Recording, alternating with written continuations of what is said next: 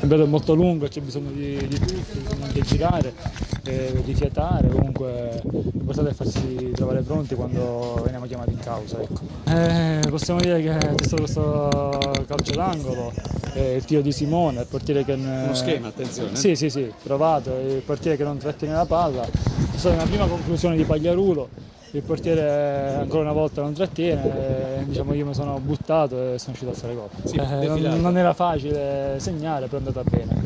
Sì, ormai diciamo che la salvezza è quasi dentro.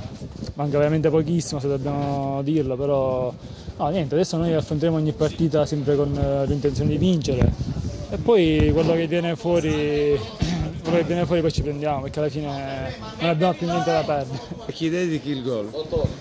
Allora, voglio dedicare alla mia famiglia, quindi a mia moglie e a mia figlia. Venerdì giochiamo e quindi sono anche due squalificati, però come abbiamo sempre fatto eh, chi scenderà al posto di chi ha giocato oggi saprà dare il suo contributo.